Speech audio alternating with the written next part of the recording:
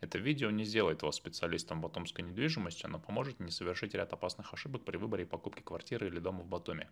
Я плохо монтирую видео, но при этом хорошо разбираюсь в недвижимости, потому что работал в ней достаточно долгое время. Консультацию я не провожу, недвижимость тоже не продаю, но при этом отвечаю на короткие навигационные вопросы по Грузии и на канале. Для этого под видео указан мой WhatsApp. Я составил небольшой чек-лист того, что бы я сделал перед покупкой недвижимости в Батуми или где-то еще. И начнем мы с первого вопроса «Зачем?». Зачем нужна недвижимость в Батуми? Ответов больше, чем может показаться. Например, чтобы переехать и жить здесь постоянно. Другой вариант, чтобы приехать сюда отдохнуть, а оставшееся время сдавать ее в аренду и получать от этого пассивный доход. Третий вариант, чтобы вложить небольшую сумму на этапе строительства, а после окончания строительства продать эту недвижимость и получить прибыль. Четвертое – это чтобы сберечь свои деньги от инфляции, то есть вложить в покупку чего-то готового и понимать, что рост цен опережает инфляцию и проценты по банковским вкладам. А, пятый вариант, чтобы получать сверхприбыли от спекуляций горячими предложениями. Такое тоже возможно, но не следует думать, что это получится у человека, который только вчера узнал о рынке или который находится за 3-9 земель. Для таких сделок нужно находиться на месте, иметь полную сумму наличными и быть готовым а, заключить сделку в тот же день. Кроме оперативности, нужно понимать еще и то, что риски при таких покупках сильно возрастают. Я буду рассказывать достаточно подробно и прошу заранее простить меня, если некоторые вещи будут звучать оскорбительно просто. А, большая часть моей аудитории, которая смотрит канал, имеет более высокий уровень опыта и знаний, но информация должна быть понятной тем, кто ни разу в жизни не покупал и не продавал объекты недвижимости. Поэтому местами мои разъяснения будут выглядеть даже слишком подробно.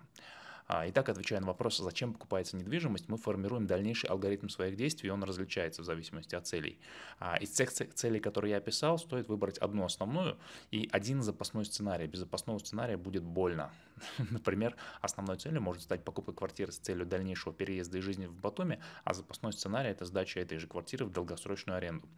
А, или цель будет, допустим, покупка на этапе котлована с целью в дальнейшем отремонтировать эту недвижимость и сдавать ее в долгосрочную или краткосрочную аренду удивительный факт, но абсолютное большинство людей, когда, когда покупают недвижимость на море, с очень смутным пониманием подходят вот к этому вопросу, зачем они это делают, какую выгоду им это принесет и вообще не осознают, какие при этом берут на себя риски. Поэтому первым пунктом в чек-листе всегда будет проверка себя. Если непонятно, зачем покупается, скорее всего, это будет эмоциональная покупка, и даже если сумма будет небольшой, в итоге она окажется крайне невыгодной. После того, как первый пункт в чек-листе заполнен, нужно перейти к следующему этапу, это выбор из тех предложений, что есть. Перед выбором объекта можно самостоятельно изучить их презентации. У меня на канале я сделал достаточно много видеообзоров на новостройк Батуми. Я советую обратить внимание не столько на навыки самопрезентации у менеджеров, они бывают очень обаятельными, сколько на то, о чем э, именно мы с ними говорим. Кроме того, можно посоветоваться с кем-то из локальных жителей. И вот это очень важный этап а, агенты по недвижимости, локальные жители и другие занятые в сфере строительства люди, а, это не означает, что они все дадут правдивый ответ, но в совокупности их мнение дополнит ту радужную картинку, которую изначально формирует себе человек перед покупкой недвижимости на море. В одном и том же городе живут люди, которые искренне наслаждаются его прелестями, и вместе с ними же живут люди, которые искренне страдают от любого неудобства. Поэтому при сборе мнений локальных жителей грех ориентироваться на какое-то конкретное. Истинно здесь будет как раз-таки та часть, где счастливые и несчастливые люди сходятся во мнениях. Например, что в Батуми хороший морской парк, это признают как оптимисты, так и пессимисты. Или что лучше воздержаться от выбора района базара Хопа для жизни. Это тоже, скорее всего, признают и оптимисты, и пессимисты. Среднее взвешенное мнение всегда полезнее, чем отдельно взятое. Мнению локальных жителей стоит добавить мнение экспертов. Но нужно учитывать важный нюанс. В сфере недвижимости Батуми работает несколько типов специалистов. Например, это застройщики и их отдел продаж. Их мнение будет однозначно. Район, в котором они строят, он идеальный. Объект, который они строят, он лучше на свете. Поэтому большого смысла задавать им такие вопросы, ну, особо нету. Зато им можно задать противоположный вопрос. Например, что они думают об объекте другой компании. И вот тут очень много интересных фактов можно узнать. Фактов, слухов и других подробностей о городе в целом и о стройке в частности. Правильно задавая вопросы специалистам отдельных отраслей, можно гораздо более точно сформулировать для себя картину. А, другой тип специалистов – это агенты по недвижимости они получают процент от завершенной сделки, и им как раз-таки можно и стоит задавать вопросы относительно качества конкретных объектов. В конечном итоге агенты заинтересованы в том, чтобы их клиент заключил сделку, и в том, чтобы для него, то есть для самого агента, от этой сделки можно было как можно меньше долгоиграющих последствий, там, в виде какого-нибудь кривого договора или растянутой по времени комиссии. Поэтому агенты будут однозначно полезны в качестве подсказок. Отдельно отмечу, что существует такой тип агентов, которые ругают все объекты, которые есть. Таким образом, они пытаются сформировать у покупателя мнение о том, что вот именно они честные и завоевать вот таким образом его доверие. Моя практика показала, что в итоге такой специалист продаст любой хлам, а потом скажет, что он же предупреждал, что все плохо. В действительности же каждая квартира и каждый дом имеют свои изъяны и свои преимущества. И в конечном итоге все равно они станут для кого-то в итоге домом. А, реально непригодных для жизни квартир я за всю свою жизнь видел ну, несколько. И одну из них, кстати, в Батуми и сравнительно недавно. А под непригодностью для жизни я имею в виду то, что затраты на приведение к жилому виду могут перекрыть стоимость целого ремонта. А, другой полезный пул информации можно получить у отделочников. О качестве той или иной новостройки, проблемах и плюсах строительной отрасли в целом лучше всего расскажут как раз мастера по ремонтам. По сути, они получают от застройщика готовое помещение со всеми недочетами, недоделками и в итоге должны сделать из него что-то приемлемое для жизни. У застройщиков есть свои ремонтные бригады, но, как правило, по моим наблюдениям, именно в Батуме мало кто из застройщиков стремится продвинуть их услуги клиенту, так как ремонты под ключ на потоке – это очень сомнительный бизнес в плане качества, а цена у них будет примерно такая же, как у частной бригады, которая за этим качеством следит лучше. Поэтому ремонтников в Батуме не стоит спрашивать о качествах ремонта. Естественно, лучший ремонт будет у тех, кого вы спросите – но вполне логично интересоваться у них, насколько им было комфортно ремонтировать квартиры в доме того или иного застройщика. Можно узнать очень много нового. Агенты по недвижимости также могут быть полезны в получении информации о той или иной ремонтной бригаде, потому что объекты с хорошим ремонтом, конечно, всегда ну, быстрее продаются, и, естественно, любопытство риэлтора – это спросить продавца квартиры, кто делал ему ремонт там, в той или иной квартире. Благодаря такому перекрестному опросу местных жителей и специалистов в отрасли а, заполняется второй пункт в чек-листе, а именно сбор предварительной информации. Но на этом процесс не заканчивается, а только начинается. И дальше будет уже немножко сложнее.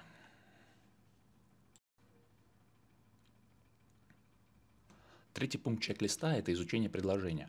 Конкретно рынок Батуми молодой, и в моменте формируется, изучать предложение на нем достаточно сложно, потому что он э, мало автоматизирован, назовем это так. Основные сайты для изучения информации это myhome.g и ss.g. Это ну, наиболее актуальные площадки. Есть еще каталоги новостроек и вторичной недвижимости на сайтах агентств недвижимости, например, quarter.g или batomirealtor.com. Таких агентств э, и сайтов достаточно много. Там идет обычно текучка специалистов. Команду больше десятка специалистов недвижимости вообще очень трудно удержать, потому что большинство менеджеров, ну, научившись продавать, сразу же уходят, открывают свое агентство. Собственно, поэтому они плодятся в огромном количестве. Тем не менее, а, о таких сайтах их тоже нужно упомянуть, хотя я лично ими не пользуюсь. Причина простая, они не успевают просто обновлять тот огромный объем информации, что попадает на рынок. Удалять старые предложения агентству невыгодно, потому что страницы со старыми объявлениями, они полезны для индексации в поисковых системах, а при обращении по запросу прикрепится ну, менеджер агентства, который будет называть себя официальным представителем застройщика, хотя по сути это будет обычный и не факт, что даже компетентный риэлтор. Тем не менее, узнавать первичное название объекта и базовые цены э, вполне можно с помощью таких вот риэлторских площадок площадок. Я работал в агентстве недвижимости в Сочи, где на сайте висели даже предложения 7-8-летней давности. К слову, они там до сих пор висят. То же самое я наблюдаю на сайтах других риэлторских компаний во всем мире. То, что попало к ним однажды, остается там практически навсегда, и чиститься площадка будет крайне неохотно. А в реальной жизни же информация обновляется практически каждый день. И даже вот после съемки подробного какого-то обзора, который я делаю у застройщика, они могут просто поменять цену уже через месяц и, или изменится что-то в самом проекте. Поэтому вопрос актуальности информации, он очень важен. А в целом же для изучения адекватности и актуальности предложений можно использовать агента по недвижимости, если таковой нашелся на предыдущем этапе и как вызывает доверие.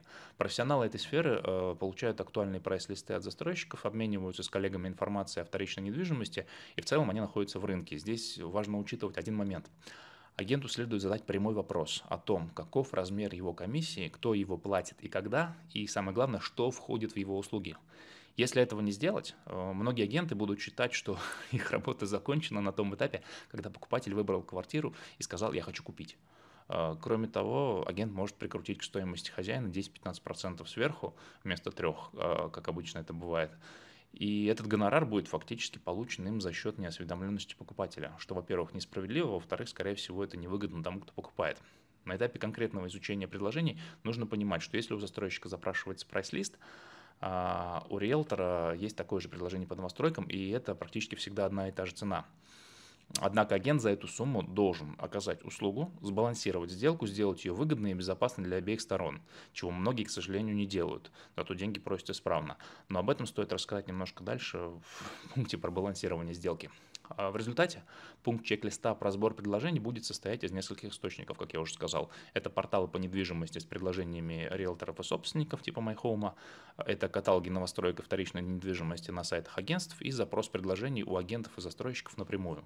Вот такие три источника, каждый из которых должен принести ну, понемножку пользы в понимании того, где что и сколько стоит. Сформировав для себя несколько конкретных предложений после этого этапа и выбрав самое подходящее, следует перейти к следующему этапу самой сделки. А, про согласование цены и условий. Важный пункт в чек-листе. А в этом пункте э, будет достаточно субъективная информация. Я расскажу, как это делаю я, почему я делаю это так, а не иначе. Но тут уже каждый человек волен действовать как ему угодно. Сценариев может быть бесконечное множество. Единственного верного рецепта тут быть не может. Э, торговаться я не люблю, я это уже точно знаю, но чуть улучшить сделку я никогда не против. Если правильно и вдумчиво подойти э, и выполнить все предыдущие этапы чек-листа, то в результате э, я получаю картину рынка в моменте, где понимаю, какие предложения лучше, какие хуже, а какие настолько хороши, что их даже хочется купить и заплатить за них ту цену, которую просит продавец. Но те люди, которые не изучают рынок, думают, что самое лучшее предложение – это то, где им максимально уступили в цене. Это абсолютно нелогично, потому что если уступили от завышенной цены, то выгоды в этом нет никакой, скорее это даже невыгодно. А для контактов с продавцом я использую агента. С кем-то пересекаюсь на объектах, слежу за их соцсетями, что они там публикуют, звоню также по объявлениям, то есть хожу с ними на показы. Еще я внимательно слушаю, что мне рассказывают сами застройщики про тех или иных агентов. Это тоже очень важный показатель качества. А, на этапе согласования цены наличие посредника лично меня оберегает от лишнего стресса. Во-первых, от настойчивых звонков из отделов продаж с вопросами определился, я уже не определился, что мне еще предложить и так далее. А, кроме того, никто не мешает мне озвучивать агенту мои самые смелые фантазии на тему конечной цены, длины рассрочки и так далее. Агент в сделке заинтересован на этом этапе, он полностью находится в моих руках на стороне покупателя, и ему нужно услышать заветное «да». Кроме того, работая с одним конкретным специалистом, можно легко отбиваться от других агентов, к которым я, допустим, в процессе поиска тоже обращался на предварительных этапах. Тут нужно понимать психологию. А для риэлтора услышать фразу «извините, я работаю с другим агентом» это, это как для женщины услышать от мужчины «я люблю другую». Большинство мужчин, находящих, фу, господи, людей, находящихся в профессии агента, как бы они не были умны или глупы, а, они достаточно амбициозны. Поэтому вот фразы «я работаю с другим агентом» можно легко избавиться от любого, даже самого настойчивого агента. Если агент на этапе переговоров с продавцом-застройщиком не показывает себя компетентным и нужным, в принципе, то его вполне можно отправить в черный список и попытаться заключить сделку с застройщиком или собственником напрямую. А справедливость здесь заключается в том, что мы понимаем, что этот скрипач уже не нужен. Большинство агентов сильно обижаются на такое и искренне недоумевают, зачем их выбрасывают из сделки, особенно если там это еще и никак не влияет на конечную цену. И, к сожалению, метафору с пятым колесом у телеги они ну, понимают достаточно немного агентов. В действительности же часто присутствие дурного агента поможет скорее даже развалить сделку, чем завершить ее. Ну и заканчивается этап согласования цены и условий составлением договора, в котором все, что проговорилось, переносится на бумагу, и все красивые роскошные обещания застройщика или частного продавца должны быть перенесены в бумажный вид. Если этого не случилось, то ожидать исполнения всего, что было сказано и обещано, не стоит. Сделки с недвижимостью – это одни из крупнейших сделок, поэтому при их совершении люди испытывают излишний энтузиазм, который, не воплотившись на бумаге, со временем растворяется в воздухе. При проведении сделки купли-продажи недвижимости может быть один или два договора. Если сделка состоит из нескольких этапов, то до основного договора заключается договор задатка или договор аванса. Поскольку договор э, задатка и аванса делается обычно на 3-5% от суммы основной сделки, его склонны считать чуть, чуть ли не формальностью и заполняют там на коленке. В действительности же это не так, потому что потерять даже тысячу долларов достаточно обидно. А, договор задатка должен включать в себя правильно заполненные данные сторон, и это простое действие на практике вызывает очень серьезные сложности. Одно дело, когда люди сами заполняют документы и делают это с непривычки. Другое, когда это делает агент, который вроде как профессионал, но все бедняга не может с циферками сладить. И совсем беда, когда ошибки в договоре делает юрист, который, кстати, должен быть в команде у каждого уважающего себя риэлтора или застройщика. А многие люди до конца не понимают сущность договора задатка, а если ваш агент путает задаток с авансом, то его вообще стоит уволить на этом же этапе. В чем тут суть? Задаток – это сумма невозвратная, она дается покупателям продавцу в том случае, если он не может сразу выплатить полную сумму, но хочет, чтобы объект никому не показывали, пока он там не уладит какие-то свои дела. Например, там нет всей суммы денег прямо сейчас, или нужно дождаться окончания срока вклада, ну или элементарно жена с детьми должны прилететь и привезти последний транш наличными. Задаток нужен в первую очередь покупателю, чтобы снять интересующий объект с продажи. Обычно в условиях задатка есть пункт о том, что он возвращается в двойном размере, поэтому размер задатка логично, что должен быть внушительным. Настолько внушительным, чтобы у того, кто продает, не возникло желания, вот пока он ждет свою заветную сделку, перепродать подороже, плюс вернуть еще, чтобы было, чтобы с чего вернуть задаток в двойном размере. Приведу пример бессмысленного задатка. Квартиру, которую я продавал в Батуми в прошлом году, стоила 125 тысяч долларов. Покупатель предложил мне задаток в размере 1000 лари. Это 400 долларов. Я откровенно сказал, что следующий, кто посмотрит после него эту квартиру, услышит цену 130 тысяч долларов. Потому что цены продолжали тогда расти еще прям совсем быстро. Простейшая математика при задатке в 400 долларов глупо снимать квартиру с продажи, особенно если ты решил поднять цену. Допустим, квартира продается за 130 тысяч долларов, да, тому, кто пришел тут же с полной оплатой. Из этой суммы неудавшийся покупатель получает обратно свой двойной задаток, то есть 800 долларов. Ну и какой смысл в этом случае снимать квартиру с продажи? Никакого. Поэтому размер задатка должен быть таким, чтобы продавцу было невыгодно продолжать продажу не только на словах, но и на деле. Как правило, это 3, 5, 10% от стоимости объекта. Риск для того, кто покупает, заключается в том, что он уже не может отказаться от сделки, иначе он просто теряет задаток. Ну или если откажется продавец, то он получает некую прибыль. Но обычно вот люди, которые дают задаток, они хотят именно совершить сделку, а не обогатиться на каком-то вот таком, на каких-то обстоятельствах. В случае с договором аванса ситуация обратная. Авансовый договор заключается по обстоятельствам продавца. Аванс – это возвратная сумма, которая дается покупателям продавцу на то, чтобы он подготовил объект для сделки. Например, на квартире там есть какие-то обременения, и у продавца, допустим, нет денег, чтобы их снять. Или по условиям сделки нужно сделать какой-нибудь косметический ремонт, и на это тоже денег нет у продавца, а самостоятельно заниматься этим покупателю, скажем, неудобно. Часто аванс дают для того, чтобы он полежал на счету продавца, и он возвращается в полном объеме, если кто-то передумал заключать сделку. В общем, давая аванс и задаток, нужно твердо понимать, зачем это делается и кому это выгодно. Другая юридическая процедура на этом этапе чек-листа – это проверка обременения, она тоже должна быть вот обязательно просто. В Грузии это делается очень легко, по кадастровому номеру заказывается платная выписка из реестра на день сделки. А многие не очень компетентные покупатели или риэлторы просто заказывают бесплатную выписку, а она формируется обычно на период последней сделки с квартирой и может, например, не отражать каких-то свежих обременений. Мне вот кажется, что это очевидно, но, насколько я понимаю, это происходит буквально каждый день. Несколько десятков долларов для заказа платной выписки – это не та сумма, которую нужно экономить при сделке с недвижимостью. Кстати, если в сделке участвует агент по недвижимости, то эти расходы вполне себе переносятся на него как транзакционные издержки, как и расходы по регистрации, как и оплата услуг юриста, которого он использует. При дальнейшей проверке юридической чистоты, да-да, это еще не конец, надо также уточнить про наличие или перспективы появления в доме всех необходимых для жизни коммуникаций. Все, что сказано на словах и не подтверждено документом, может быть приравнено опять же красивым словам и цветастым метафорам. Заверение, что газовая котельная будет построена прямо рядом с домом, вполне себе обернется изменением обстоятельств, где газ в дом придется проводить самостоятельно. В случае, если по договору возникают сложные обстоятельства и люди не могут договориться, нужно обращаться в суд. Это не самая приятная и быстрая процедура, но обоснованная, когда речь идет о, такой, о таком крупном виде сделок, как сделки в недвижимости. Если же в договоре никаких обстоятельств вообще не прописано, то по сути обращаться в суд даже будет не с чем.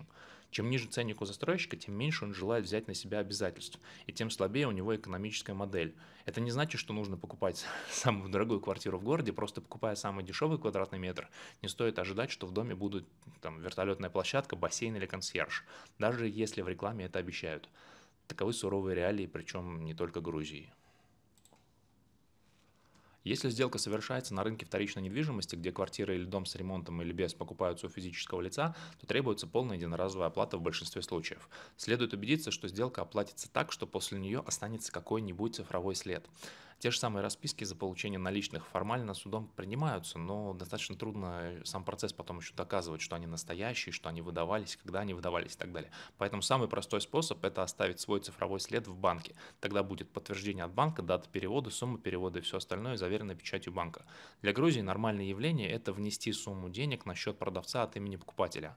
Причем в любой валюте можно это делать. Просто единственное, когда вы это в долларах делается, там назначение платежа не указывается, но при этом у нас есть договор, в котором все прописано, и у нас есть сумма, которую мы внесли.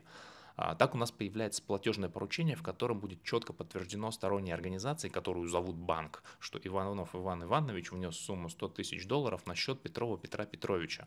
Отдельная история – это занижение стоимости. Хорошо, если продавец наш друг, и он точно будет вести себя хорошо. А как в другом случае доказать, что по договору написано 100 тысяч, а отдали мы 150 почему-то, не считая вопросов от налоговой инспекции про сокрытие доходов, причем налогов, доходов тех, того, кто продает, по сути. Это очень любят делать и в Грузии, и в Болгарии, и в России, да вообще везде любят занижать стоимость, ну, это безумие. Еще в Грузии часто стала практика, когда расчеты за квартиры происходят за пределами Грузии, а регистрация сделки завершается по факту. Нужно понимать, что это стоит делать только хорошо знакомым между собой людям, так как процесс доказывания, опять же, будет очень и очень усложнен. Люди любят себя вести неосмотрительно и даже лихо в моменты, пока все идет хорошо. Но никто не хочет задумываться о том, что будет, если в программе действий произойдет сбой и как себя поведет вторая сторона сделки, совершенно непонятно. Напомню, что сделки с недвижимостью – это один из самых крупных видов сделок, которые люди заключают между собой. В случае с приобретением квартиры у застройщика все еще проще. Застройщик платит налоги, и деньги он предпочитает получать практически всегда в безналичных платежах. Но нужно учитывать очень важный момент. Практически все застройщики на этапе строительства предлагают рассрочку. В Грузии точно ни разу не встречался тот, кто еще строит и не предлагает рассрочку. Отказываться от рассрочки смысла нету. Фактически это вход в сделку с 20-30% от суммы квартиры. А при оплате полной суммы я бы всегда ставил задачу агенту, если он есть, торговаться. Ну или торговался бы сам. Кто-то из застройщиков реагирует на самого покупателя, но если переговорщик из вас так себе, ну, как и из меня, то для этой цели, опять же, удобнее агент, потому что он должен знать, как, на какую сумму размахиваться, и то, насколько отделу продаж именно сейчас нужны эти деньги. Совершенно не секрет, что у всех отделов продаж застройщика есть план продаж для менеджеров, и иногда сделку можно сильно изменить, просто подсунув ее нужному продажнику, которому не хватает конкретной сделки там до премии. Определившись с оплатой, можно выдохнуть, подписать документы в юстиции самостоятельно или через доверенное лицо и вступать в полное или частичное э, право владения той самой недвижимостью. О том, что происходит дальше, я рассказывал в видео, как потом продать квартиру в Батуми. Надеюсь, это видео было полезно и интересно. Большое спасибо за внимание. Встретимся на море.